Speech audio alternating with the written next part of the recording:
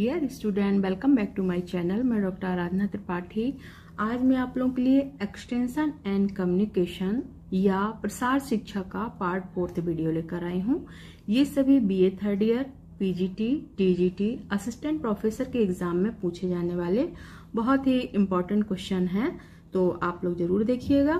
तो शुरू करते हैं आज का वीडियो और जो स्टूडेंट मेरे चैनल पर पहली बार आए प्लीज़ लाइक शेयर सब्सक्राइब कीजिए।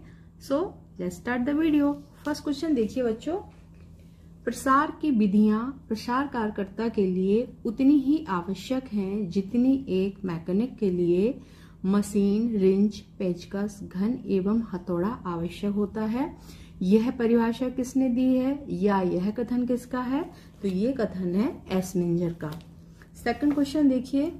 संचार माध्यम संदेशों में प्रेषक एवं ग्रहणकर्ता के मध्य भौतिक पुल के समान है।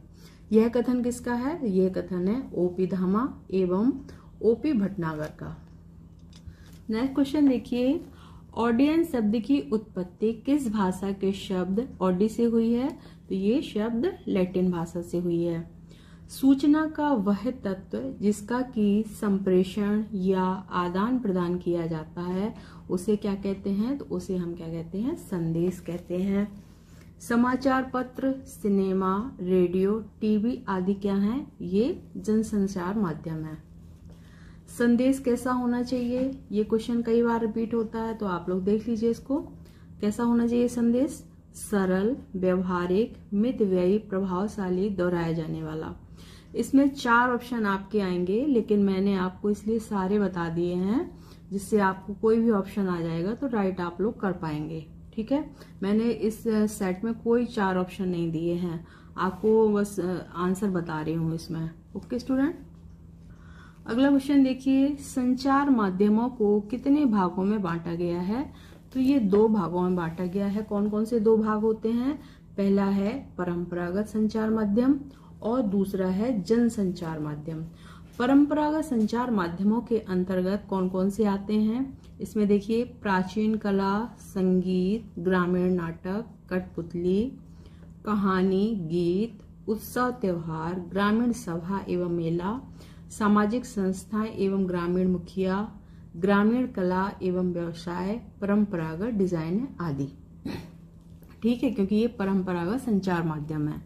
अब जनसंचार माध्यम के अंतर्गत कौन कौन से आते हैं? तो कई बार क्वेश्चन में आ जाता है कि परंपरागत संचार माध्यम कौन से हैं? तो इसमें से ऑप्शन दिए रहेंगे, ठीक है? या जनसंचार माध्यम कौन से हैं? तो जनसंचार माध्यम के उदाहरण है, देख लीजिए, समाचार पत्र, समाचार agency, cinema, radio, television, mobile आदि।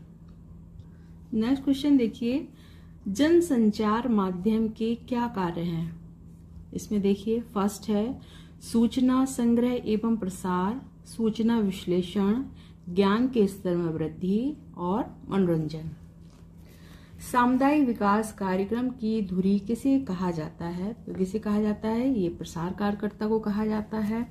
सामुदायिक विकास कार्य का शुभारंभ कब हुआ था? तो ये 2 अक्टूबर उन्नीस सौ बावन को भूतपूर्व राष्ट्रपति स्वर्गीय श्री डॉक्टर राजेंद्र प्रसाद के कर कमलों द्वारा किया गया था। नेक्स्ट क्वेश्चन भारत में रेडियो का प्रसारण कब हुआ? तो ये हुआ था सन उन्नीस सौ सत्ताईस में। भारत में दूरदर्शन का आरंभ कब हुआ? तो ये 15 सितंबर उन्नीस सौ उनसठ को हुआ था। ये क्वेश्चन कई बार रिपीट हुआ है तो आप लोग अच्छे से याद कर लीजिए। कठपुतली कितने प्रकार की होती है? ये भी क्वेश्चन कई बार पूछा जाता है। तो ये चार प्रकार की होती है कठपुतली। कौन कौन सी होती है? फ़र्स्ट है हाथ से चलाने वाली कठपुतली। सेकंड, धागे से चलाने वाली कठपुतली। थर्ड, छड़ पर चलाने वाली कट, चलने वाली कठपुतली। और फोर्थ है छाया वाली कठपुतली। प्रेस ट्रस्ट इंडिया की स्थापना कब हुई? तो ये हुई थी उन्नीस में। फ्लैश कार्ड का आकार कितना होता है? ये कई बार क्वेश्चन आया है। ये होता है 21 इंटू सत्ताईस सेंटीमीटर। फ्लैश कार्ड संख्या में कितने होने चाहिए? लगभग होने चाहिए 10 से 12 ठीक है? और 18 से 20 से ज़्यादा बिल्कुल भी नहीं होने चाहिए। लेकिन इसकी फ्लैश कार्ड की संख्या कितनी लगभग होनी चाहिए? लगभग 10 से 12 होनी चाहिए।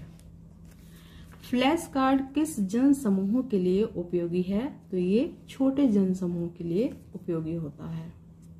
ग्राफ कितने प्रकार के होते हैं? तो ग्राफ चार प्रकार के होते हैं। कौन कौन से होते हैं? रेखा ग्राफ, गोलाकार ग्राफ, बार ग्राफ, चित्र ग्राफ। जब बड़े कागज़ पर कुछ चित्र बनाकर एवं लिखाई द्वारा किसी समस्या पर ध्यान आकर्षित किया जाता है तो उसे क्या कहते हैं हम? तो उसे हम पोस्टर कहते हैं। ठीक है? नेक्स्ट क्वेश्चन देखिए। पोस्टर की माप कितनी होनी चाहिए? तो ये होनी चाहिए 28 इंटू चवालीस इंच जिन क्षेत्रों में वार्तालाप में भाषा की समस्या हो, वहाँ किस माध्यम के द्वारा शिक्षण देना चाहिए? वहाँ फ्लैश कार्ड के द्वारा शिक्षण देना चाहिए। श्रव्य सामग्री क्या क्या है? श्रव्य सामग्री क्या होती है? जिसमें हम सुन सकते हैं किसी भी बात को। तो जो जो सुनाई देने वाली चीज़ है, उसको हम कहते हैं श्रव्य सामग्री। ठीक है, ये प्रसार शिक्षा के साधन होते हैं। श्रव्य सामग्री में कौन कौन से आते हैं, देखिए। रेडियो, टेलीफोन, टेप रिकॉर्डर और ग्रामोफोन। नेक्स्ट क्वेश्चन, दृश्य साधन कितने प्रकार के होते हैं? तो ये दो प्रकार के होते हैं। पहला है प्रक्षेपित और दूसरा है गैर प्रक्षेपित। ठीक है? प्रक्षेपित मतलब प्रोजेक्टर। प्रोजेक्टर के द्वारा जो चलाए जाते हैं। इसके उदाहरण हैं, फ़िल्म स्ट्रिप्स, स्लाइडें चलचित्र, ओपिक एवं ओवरहेड प्रोजेक्टर। सेकंड है गैर प्रक्षेपित, यानी कि नॉन नॉन प्रोजेक्टेड जिसमें प्रोजेक्ट की ज़रूरत नहीं होती प्रोजेक्टर की, ठीक है? तो ये है फोटोग्राफ्स पोस्टर या विज्ञापन पत्र, श्याम पट फ्लैश कार्ड सूचना पट चार्ट मॉडल ग्राफ साहित्य तथा प्रकाशन और मूक अभिनय। अब इसमें क्वेश्चन कैसे बनेगा? ये गैर प्रक्षेपित साधन कौन कौन से हैं? तो इसमें से कोई भी ऑप्शन दे सकते हैं, ठीक है, गैर प्रक्षेपित में, या कुछ प्रक्षेपित वाले के ऑप्शन दे देंगे और कुछ गैर प्रक्षेपित के। तो उसमें से आप लोगों को इसलिए मैंने सारे बता दिए हैं, कोई भी ऑप्शन आएगा तो आप लोग राइट कर सकते हैं। अगला क्वेश्चन देखिए, दृश्य श्रव्य सामग्री कितनी प्रकार की होती है? तो ये दो प्रकार की होती है कौन कौन सी होती है?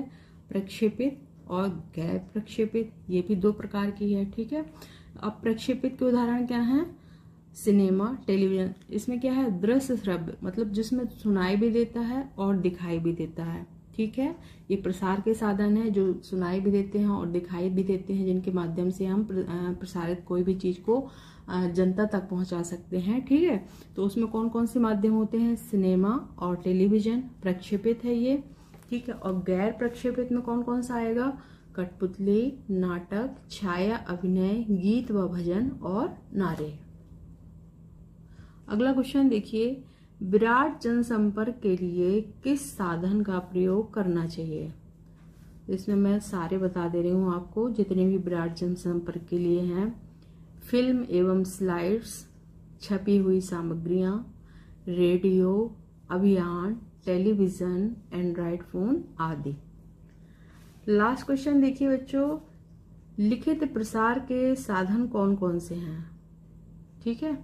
इसमें है बुलेटिन लीफलेट्स सूचना पत्र, व्यक्तिगत पत्र सर्कुलर लेटर आदि।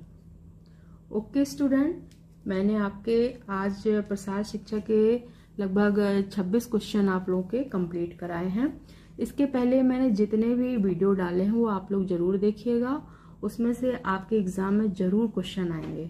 ओके स्टूडेंट, मिलते हैं नेक्स्ट वीडियो में। प्लीज़ लाइक से सब्सक्राइब कीजिए। Thank you for watching.